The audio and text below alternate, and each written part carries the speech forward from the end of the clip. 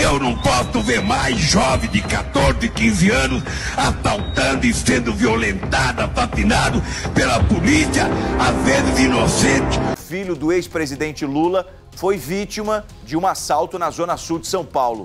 A gente vai tratar desse assunto a partir de agora. Ele que inclusive foi até a delegacia já prestou depoimento. Amanda Campos, direto da redação de jornalismo, traz as notícias pra gente. Ô Amanda, é, o que, que foi roubado? E outra, isso aí tem alguma relação com, com, com a política, com o pai dele? Ou acredita-se que a vítima, que, que o autor nem sabia que se tratava do filho do ex-presidente? Bom dia, Amanda.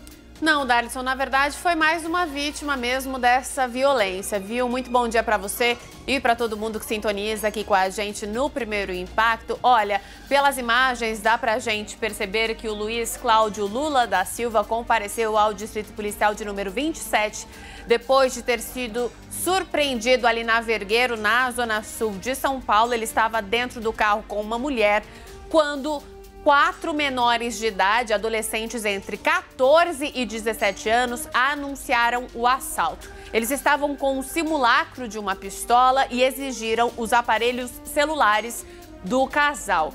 Ah, os quatro acabaram saindo correndo e havia uma patrulha da Polícia Militar bem próxima ao local.